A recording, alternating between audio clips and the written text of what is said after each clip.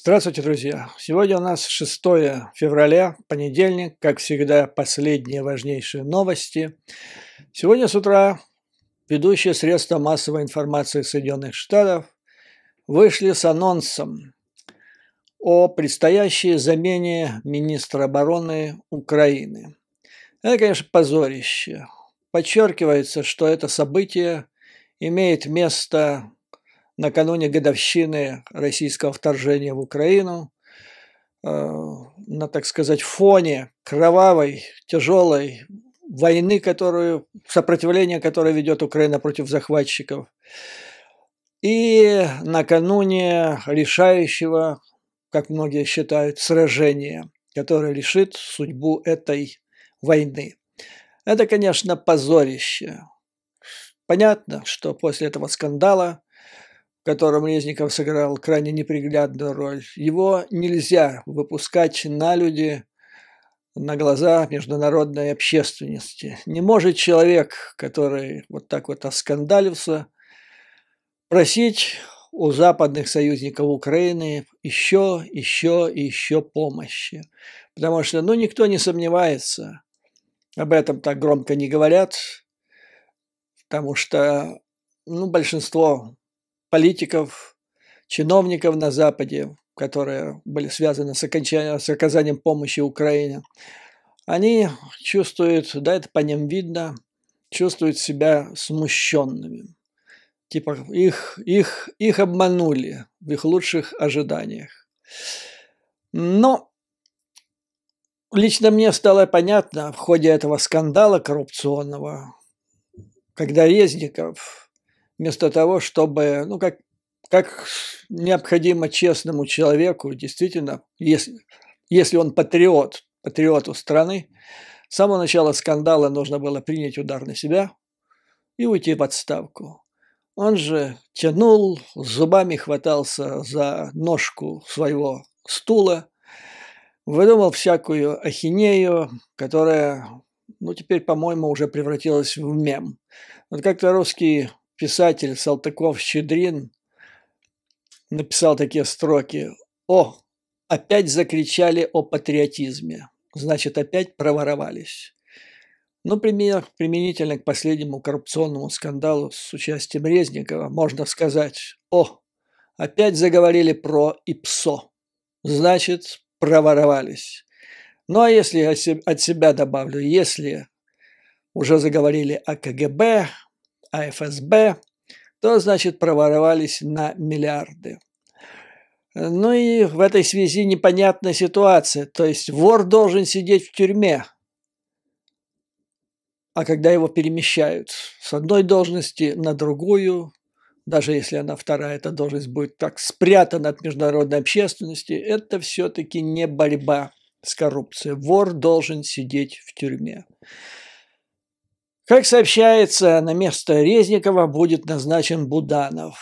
Вместе с ним, наверное, придет его несменный сожитель, я имею в виду сожитель по общей жилплощади и помощник, российский гражданин Гогиашвили, э, который много узнал, находясь помощником Буданова в ГРУ. Теперь он много узнает, что происходит в Министерстве обороны.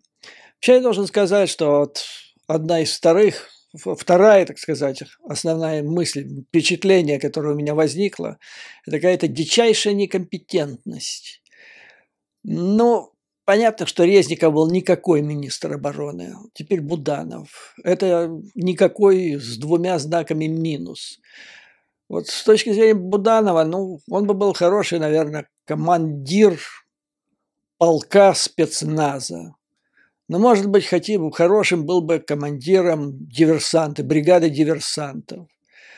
Это там, собственно говоря, где главное, вот как мы же проходили, я лично проходил подготовку воздушно-десантной дивизии в Тульской, там говорили в советском десанте, что главное на этой работе упасть и отжаться.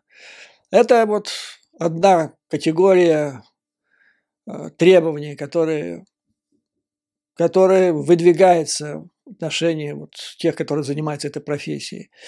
А руководство разведкой, а тем более руководство Министерства обороны. Но я ну, просто не вижу, не вижу Буданова, если только его не собираются там держать как звезду уже мирового экрана, за спиной которого будут работать совсем другие люди. И все пойдет так, как оно шло раньше.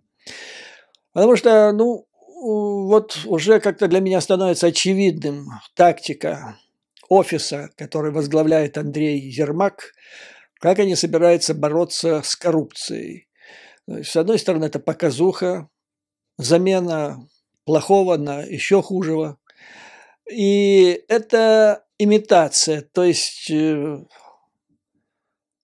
захват контроля над теми органами, которые должны бороться с коррупцией, людьми Ермака. И вот сейчас на последнем этапе находится конкурс назначение на главную должность главы НАБУ, где есть целый список кандидатов, вроде все идет демократически, тесты там, все необходимые, которые, конечно, очень важны. Но меня смущает там, а, вот скажем, номер семь, который фигурирует в списках кандидатов на эту должность. Власюк Виталий Викторович брат которого Владислав Васюк, Власюк работает советником с, если я не ошибаюсь, апреля прошлого года офиса президента Украины. А, ну, то есть Ермака. Понятно, что Ермака. Мне вот единственное непонятно, но неужели нет в Украине людей для назначения на ответственные должности в этот тяжелый, решитель, решающий момент жизни страны? Неужели нет людей, достойных, которые не были бы связаны с Ермаком? Он мне производит впечатление такого, знаете, резидента, который расставляет свою агентуру на ключевых государственных должностях, через которые можно контролировать те действия, решения, э, которые предпринимает Украина в тяжелой борьбе против агрессора, а также устраивать всевозможные скандалы и саботировать э, правильные, что ли, поступки со стороны государства. Вот если так посмотреть на результаты действия господина Ермака и его помощников, ну даже вот взять незадолго до, до, до начала войны – вот как ни скандал, там или Ермак, или люди, которые, его, которые он назначил. Начиная с Амана, включая историю с Вагнером, ну а как здесь, как началась война, там вообще бесконечно. Это и оставление юга Украины после того, как директор ЦРУ в январе 12 числа приехал и сказал, что будет, сказал, как это будет, откуда это будет, предупредил насчет Гастомеля – ну и дальше, дальше. Он ответственный за гуманитарную помощь, пром, про воровство в промышленных масштабах. Дошло до того, что мне здесь американцы говорят, а, есть здесь магазины, в которых продаются э, избыточные, что ли, товары Пентагона, и там бывает иногда форма других стран. Появилась форма Украины, украинская форма, продается здесь на доллары – ну и вот американец мне говорит, я слышал, что там люди мерзнут в Украине на полях сражений. Не хватает одежды, люди сами должны покупать. А здесь висит в Америке, продается, то есть круговорот воды произошел. Деньги из Соединенных Штатов в Украину на помощь, там на эту помощь произведена эта форма, и потом она отправляется сюда, в Соединенные Штаты, для того, чтобы ее продать. Просто, просто потрясающе. Так вот, наблюдаем, наблюдаем, кто же будет новым главой НАБУ, потому что от этого зависит. Тактика уже и стратегия ясна.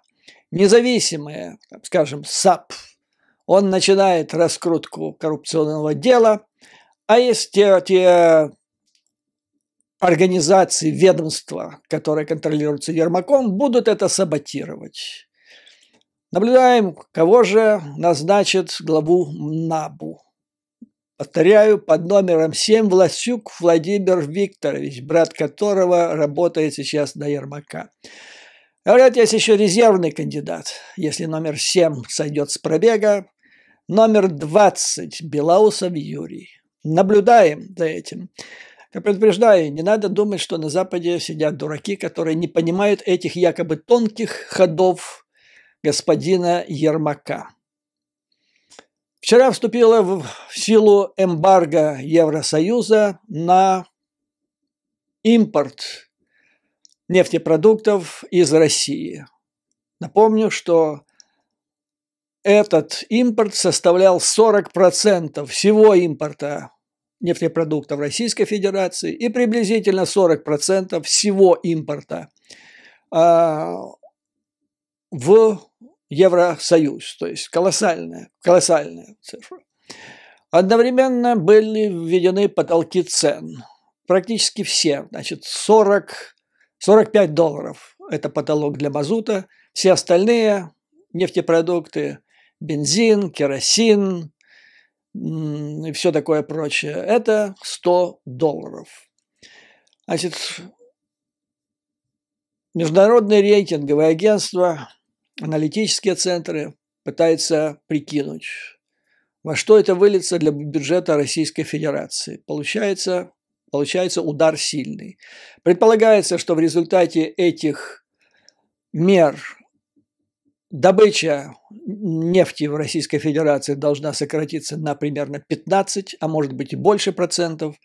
Ну и где-то на 20 процентов должно 10-20% должно сократиться производство, то есть работа НПЗ и производство этих самых нефтепродуктов.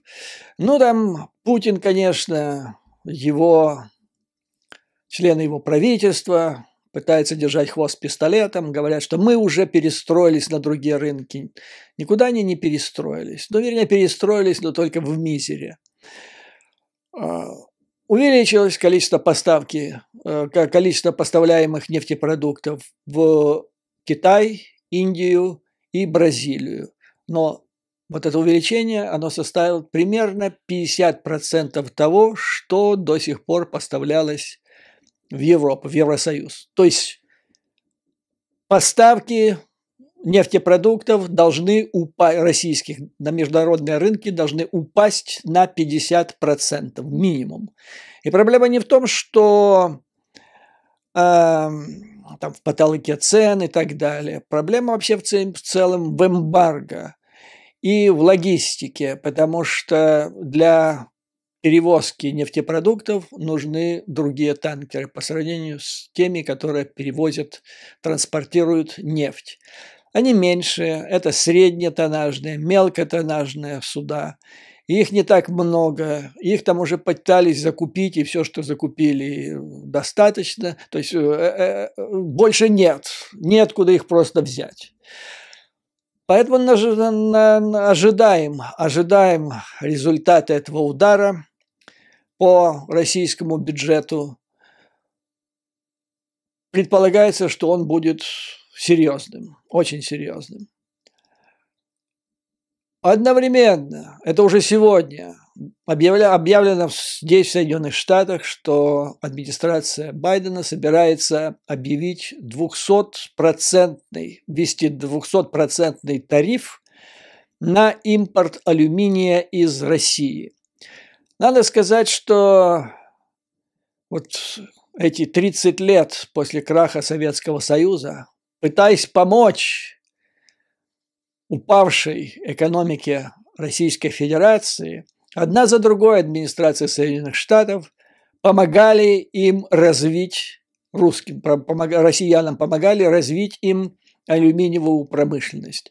Ну, еще в дополнение к тому, что крупнейшая вообще алюминиевая промышленность в Штатах, она считается такой грязной, э, вредной для окружающей среды, Поэтому американская компания алюминиевая Алкола, она как-то так сворачивала свою деятельность. Значительную часть активов она продала Русалу, Дерипаске. Ну и крупнейшие, в том числе компании военно-промышленного комплекса США, подсели на алюминий Дерипаски. Он тут развернулся, как вы знаете, собирался даже страшное капиталовложение сделать в штат Мича МакКоннелла, после того, после того, после чего последний заслужил прозвище от Нэнси Пелоси «Москов Мич», «Московский Мич». Но, да, должен вам еще сказать, что в Кремле вот эти все операции Дерипаски с его русалом, они рассматривались не как там частный бизнес, не как даже просто бизнес, они рассматривались как важнейшая стратегическая государственная операция. И вот я вспоминаю, как э, э, «Русал» приобретал в свое время, это было 90-е годы, середина где-то 90-х, вернее, вторая половина 90-х годов, он приобретал э,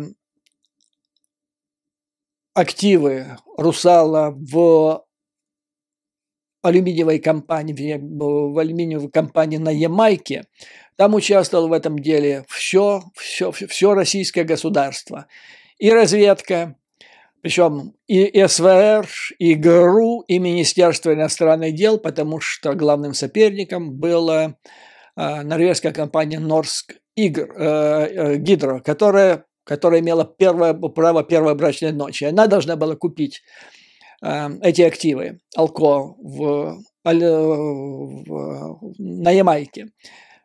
Ну вот не дали, не дали. То есть бешеная активность, руководил человек прямо из Кремля. Они предприняли и шантаж, и чего там только не было. Это к чему говорю? Рассказываем о том, что любая крупная внешняя, внешняя сделка Дерипаски его Русала рассматривалась как стратегический, очередной стратегический ход Кремля. Да потому что тот же а, Русал под руководством Дерипаски захватил в Украине практически всю алюминиевую промышленность, поставив таким образом под контроль авиастроение, которое является, являлось, являлось стратегической оборонной отраслью украинской экономики. И там, конечно, без коррупции никак не обошлось. Ну, в частности, я помню, один из моих партнеров по бизнес-секьюрити проводил это расследование, в ходе которого всплыло, что захват Дерипасской Николаевского алюминиевого а, сопровождался выплатой взятки или взяток в размере около 50 миллионов долларов. Это было, да, это было где-то в 90-х годах, годах. Тогда это была сумма почти астрономическая, не такая, как нынче. Интересная тема. Многие у меня попросили осветить ее. Это история, история шаром, метеошаром, который китайским, который вот буквально вчера был сбит над территорией Соединенных Штатов Америки. Это, конечно, скандал, но скандал, который идет, вернее, его, его последствия, я боюсь, и многие аналитики этого опасаются, его масштабы будут гораздо шире, чем просто вот это недоразумение или такая мелкая стычка между двумя странами из-за какого-то э, метеошара. Ну, вкратце напомню, как развивались события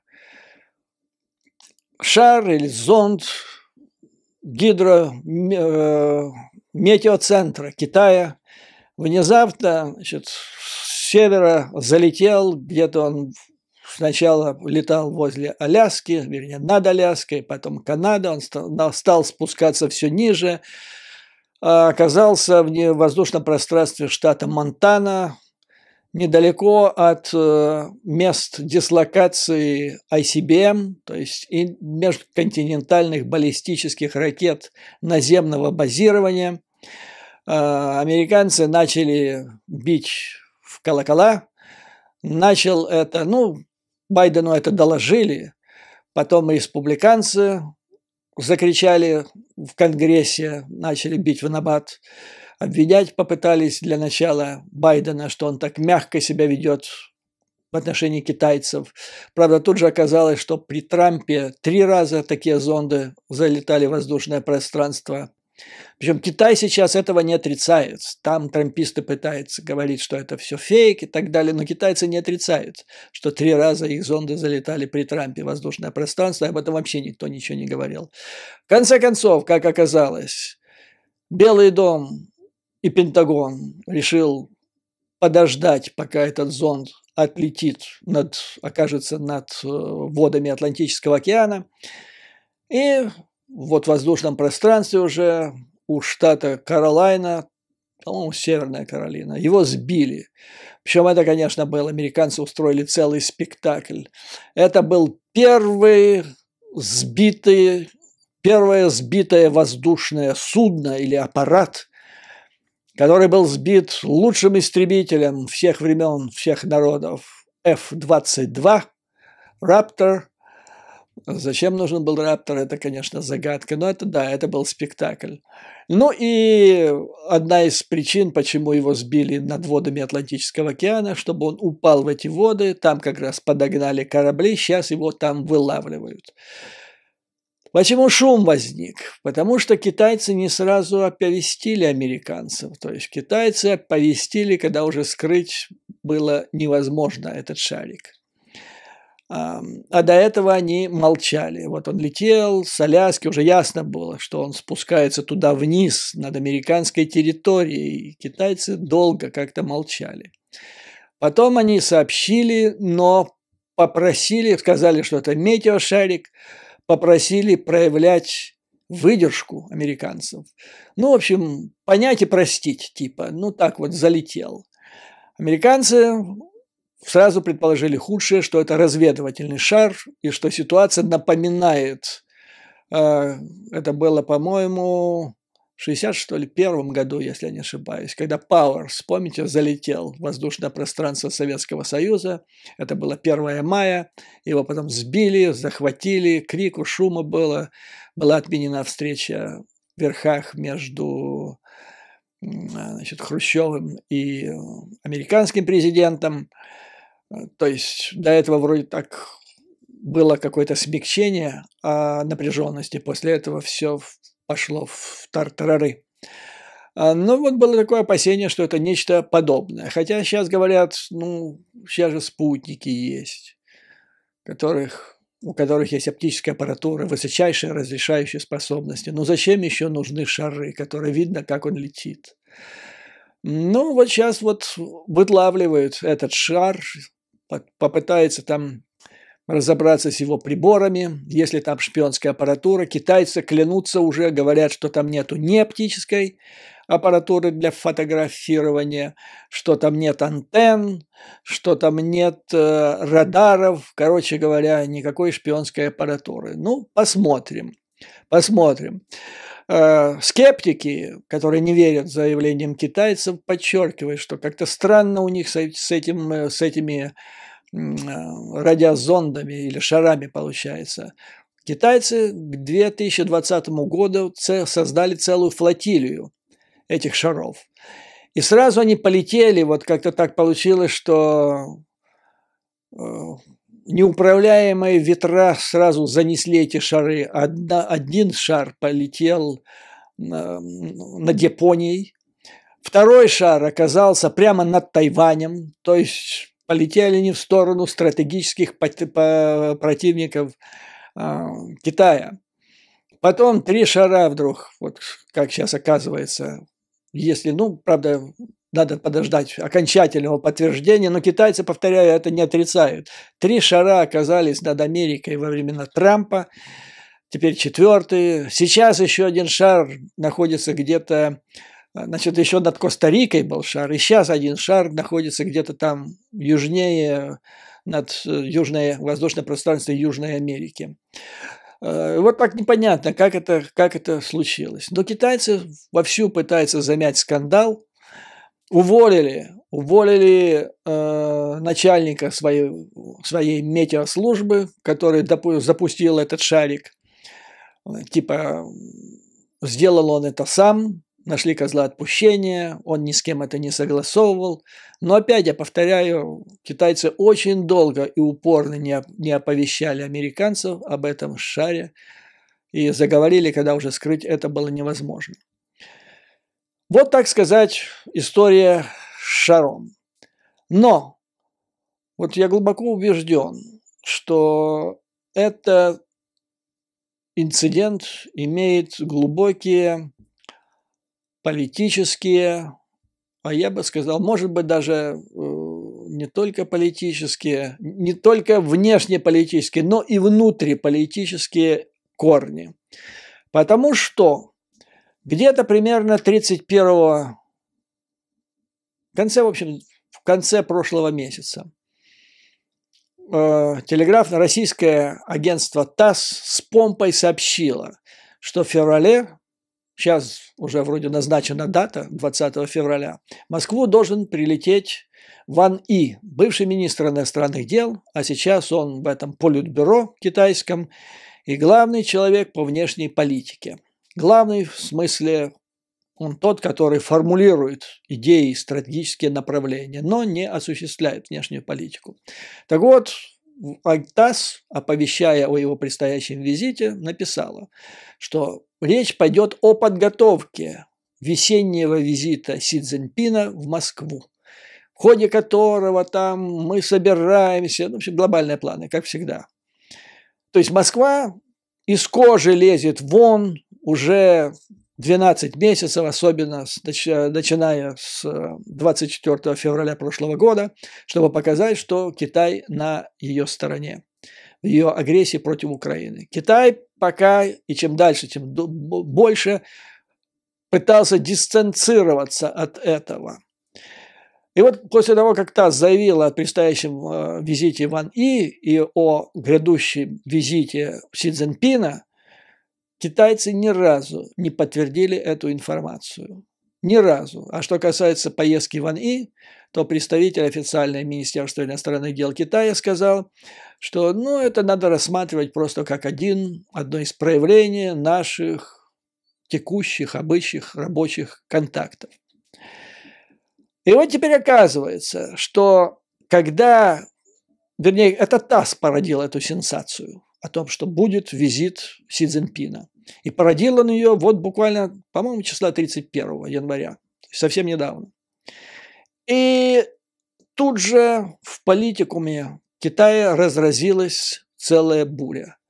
Пошли подозрения, значит, что там намечается раскол между теми, которые считают, что этот визит имеет смысл проводить, а другие, что делать этого совершенно не надо. То есть это удивительный раскол, и он выплеснулся просто на страницы средств массовой информации Китая. Такого я, в общем-то, не припомню. Вот в этой связи мое внимание привлекла а, статья Ши Джангтао. Это бывший дипломат, а ныне это дипломатический корреспондент South China Morning Post гонконгской газеты, которая независима от Компартии Китая, и где он в весьма резких выражениях изложил свою позицию. Позиция следующая. Помимо того, как Соединенные Штаты союзники увеличивают помощь, военную помощь Украине, ситуация на полях сражений этой страны, то есть Украины, все больше меняется против в негативную для Москвы сторону. Многие западные стратегии размышляют о грядущем поражении Москвы. Но, несмотря на вот такие настроения, несмотря на неудачи Москвы на поле боя, китайские наблюдатели, пишет автор, в целом ожидают, что этот конфликт, или вернее надеются, что этот конфликт может затянуться, он станет дорогостоящим для Запада, изнурительным и превратится в затяжную войну между Россией и Западом, которая может продлиться, продлиться много месяцев, если не лет. Вот такая мечты, оказывается, есть у определенных кругах власти в Пекине, но не у всех, подчеркиваю. С точки зрения Китая, продолжает автор, сценарий проигрыша в войне э, в Украине, при котором США увязнут в Европе, весьма привлекателен.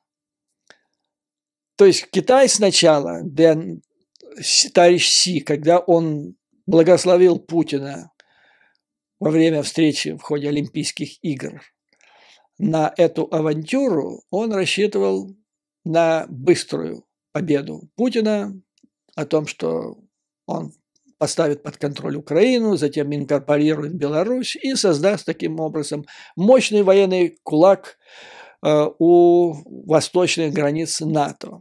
Это не удалось. Э, ситуация развернулась в плохую для Китая сторону, но теперь вот оказывается, что они посчитали, решили, что если Запад увязнет в этой войне, то это может быть неплохо. Это отвлечет внимание Запада, прежде всего Соединенных Штатов Америки, от Тайваня, и Китай получит там свободу действий и, может быть, совершит то, чего все опасаются, то есть попытку силой присоединить это островное государство или там полугосударственное образование. Кстати, напомню, что некоторое время назад э, генерал военно-воздушных сил США Минихан, по-моему, фамилия, точно не ручаюсь, примерно так это звучит, заявил, что в связи с этим война между США и Китаем может состояться в течение следующих двух лет. За это, насколько я понимаю, он получил нагоняй от администрации, поскольку выразил сугубо свое мнение, которое не совпадало с мнением США. Так вот, как предполагает автор, это, по-видимому, соответствует вот такая точка зрения, э, что США, это может быть неплохо, что США союзники увязнут в этой войне, которая идет в Украине что это привлекательный фактор, и это, по-видимому, соответствует официальной позиции Пекина. Ну, вернее, она не официальная, но, наверное, тут надо сказать, доминирующей линии в руководстве Пекина. И это помогает объяснить решимость Китая усилить свою поддержку российского президента Путина – для Китая затяжной конфликт стал бы полезным отвлекающим маневром для решения своих вопросов в Юго-Восточной Азии, прежде всего Тайвань. И дальше автор пишет, что если этот визит состоится, это будет сильнейший удар по Китаю. То есть это, это будет катастрофическая ошибка. Почему? Потому что, ну, во-первых, Китай продемонстрирует свое двуличие, поскольку последние много месяцев, ну как минимум месяцев 6-7, Китай всех уверяет, что он не благословлял Путина на эту авантюру, что он, Китай, не поддерживает эту войну, что он, в принципе, соблюдает нейтралитет, выступает за целостность, территориальный суверенитет Украины, не помогает России военным путем и не помогает обойти санкции. И теперь кажется, что все это была ложь. Нехорошо для Китая. Китай такая страна, которая, в отличие от России, это глубоко, они, они позиционируют себя как солидный игрок на международной арене и заво- завоевывают свое влияние в мире при помощи, прежде всего, экономики и мягкой силы, а врач при проекции мягкой силы как-то не камильфо. Вот, поэтому, значит, это, это уже плохо. Далее, если Китай теперь открыто станет на сторону России, Путина, то это серьезно ухудшит отношения Пекина с Европейским Союзом. А последние несколько месяцев Пекин уделял огромное значение, чтобы как-то так вот улучшить э, испортившиеся после путинской агрессии отношения с ЕС. Э, туда же Шольц приезжал, с помпой китайцы значит, э, провели его визит, Макрон ожидается. Ну и вот все это опять пойдет на смарку. Напоминается, что если это произойдет, если Китай это сделает, то как, как, как написал здесь один из комментаторов, как комментаторов к этой статье, кто же из европейцев будет покупать ваши электронные товары, кто из них будет покупать ваши машины. То есть ваш весь экспорт в Евросоюз, а Евросоюз первое место занимает, главный торговый, внешний торговый партнер Китая. То есть кто, кто, кто в Европе будет с вами торговать? Ну и Соединенные Штаты закусят у дела, у дела. И еще сильнее завинтят этот кран э, поставки электронного оборудования, всевозможных там микрочипов э, в Китае, от которого, от которого этого эмбарго Китай уже страдает. Короче говоря, это будет в экономическом плане провал для Китая, как считает автор. Это будет провал в политическом плане. И единственное, кто получит, кто станет неоспори, не, не, неоспоримым а, выгодополучателем в этой ситуации, это, это кремлевский сиделец. Вот он это все раскрутит по полной программе в пропагандистском плане. Хотя тут подчеркивается, что, скорее всего, это будет только пропагандистская победа Путина, потому что даже если Си Цзиньпин поедет в Москву, а, он по-прежнему будет э, придерживаться того же курса, что и раньше. То есть он не будет оказывать военную помощь, во всяком случае открытую большую военную помощь России и не будет помогать обойти санкции. Что касается торговли нефтью, а теперь вот нефтепродуктами, то до сих пор наблюдается после введения эмбарго на сырую нефть 5 декабря, Китай, как и Индия, они, в принципе, не нарушают вот эти потолки и не нарушают санкции, которые ввел э, Евросоюз. Вот такая ситуация. Значит, автор пишет, тесная связь Пекина, в случае, если она, это будет тесная связь, если Си туда поедет, Тесная связь Пекина с воинственным Путиным также вызвала бурную критику внутри страны. А, Янь Сетун, стратег из Пекинского университета Синхуа, в прошлом году в интервью телеканале Феникс заявил, что война в Украине не принесла ничего, кроме вреда глобализации. Глобализации, которая является неотъемлемой частью национальных интересов Китая, на которой он, он, вся экономика Китая на этой глобализации поднялась. Динган, еще один пекинский аналитик, в этом месяце предупредил, что позиция Китая по Украине, возможно, заставила европейцев изменить свое восприятие Пекина. Он также сказал, что вторжение России оказало негативное влияние на Китай – Например, помогло Вашингтону восстановить свое глобальное лидерство, вопреки тому, что Китай-то ожидал другого, прямо противоположного, и усилило зависимость многих стран от США и НАТО в вопросе безопасности. То же самое, несомненно. То есть вместо того, чтобы подорвать позиции США в результате агрессии Путина, произошло прямо противоположное. Роль, значение, влияние Соединенных Штатов возросла, многократно, а также роль НАТО. Поэтому, как пишет автор, для Китая настал момент определиться со своей позицией по Украине. Пекину необходимо тщательно балансировать между стремлением создать более сильную американскую ось с Москвой и необходимостью восстановить доверие с западным миром и облегчить свои экономические проблемы внутри страны.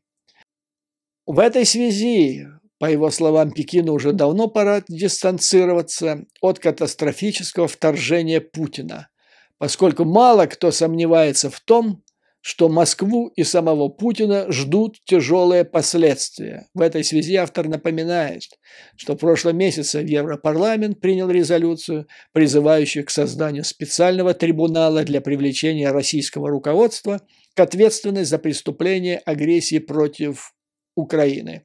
Помните, я вам как-то рассказывал недавно о высказывании четырехзвездного генерала Уэсли Кларка, большого друга, друга Украины, который называл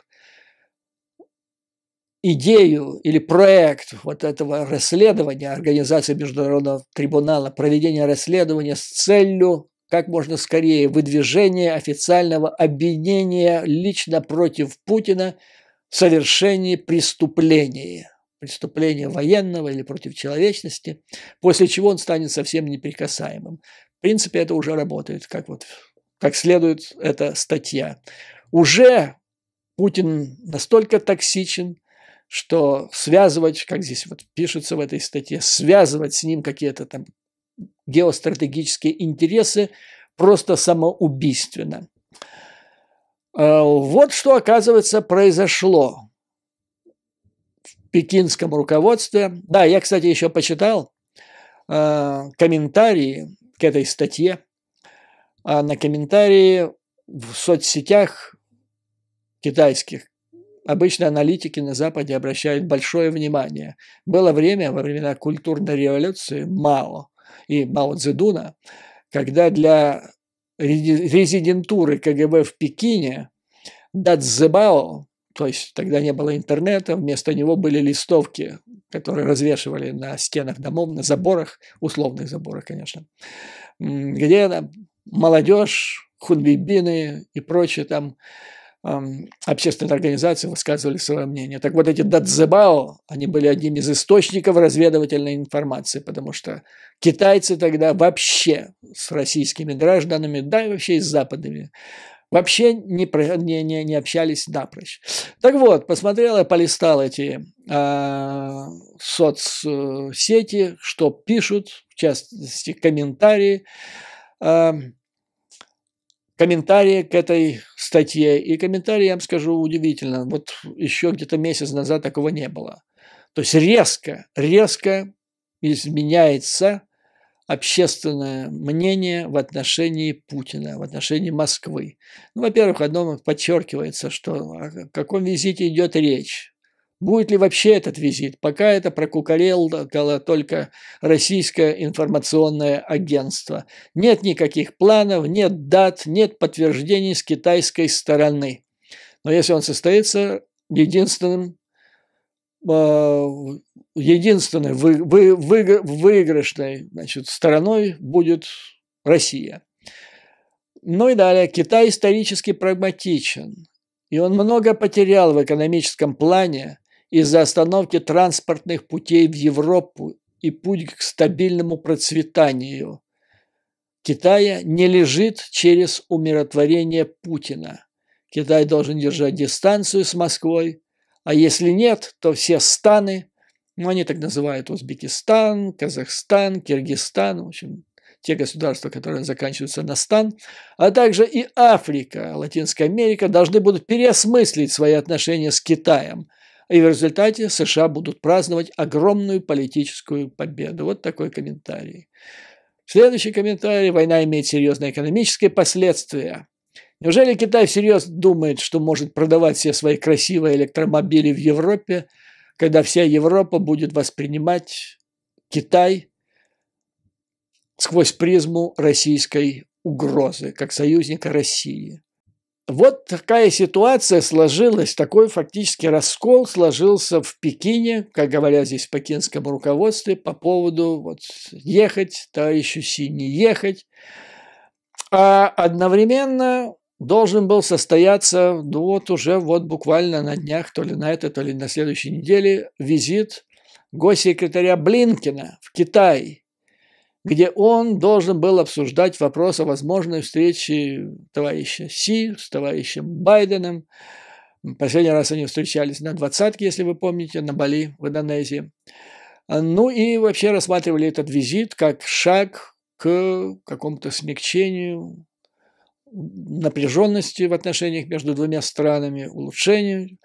И вот теперь в результате значит, этого инцидента с Шаром Блинкен этот визит, ну не то что отменил, он его приостановил. Типа приост... Американцы его типа приостановили. А, я считаю, что напрасно.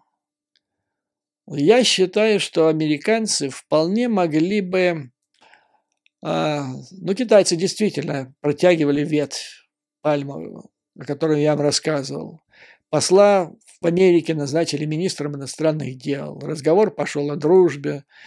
Э, главный посол Китая в Евросоюзе говорил, заговорил о том, что эта агрессия путинская причиняет, причиняет много боли, неудобств и убытка политического, экономического Китаю. То есть мог бы Вашингтон отложить бы в сторону временно э, разговоры о враждебности с Китаем, тем более, что эта враждебность пока она чисто теоретическая, в то время, когда кремлевский кровавый карлик уже ведет кровавую войну в Европе. И сначала разобраться с тем, кто вот уже, уже, уже проявляет свою агрессивность. Он уже ведет агрессивную войну. И сначала разобраться с ним, а потом уже разбираться с Китаем. То есть я считаю, что для Европы и для Украины было бы гораздо лучше, если бы Блинкен не отменил этот визит. Ну, можно было под каким-то предлогом перенести его на два дня, на три дня потом, под удобоваримым предлогом, не ссылаясь на этот злополучный шар. А теперь получается почти как вот э, во времена Никиты Хрущева, когда он отменил встречу с американским президентом. И на долгие годы отношения между двумя странами ухудшились. Будем надеяться, что это не произойдет на этот раз, потому что, я повторяю, Китай ведет себя э, не агрессивно. Чувствуется, что они испытывают глубокое смущение. Они продолжают призывать Америку к сдержанности в реакции. Но много станет ясно после того, как американские ВМС извлекут останки этого э, шара с корзиной и со всем ее содержимым. Вот тогда и станет ясно, куда дальше пойдут отношения в треугольнике США, Россия и Китай. Вот на этом, дорогие друзья, позвольте закончить это видео. Как всегда, слава Украине и вооруженным силам. Враг будет разбит, победа будет за нами. Вам, дорогие друзья, как всегда, выдержки, мужества, веры в свои вооруженные силы и в то, что они принесут вам, нам, желанную победу. До новых скорых встреч!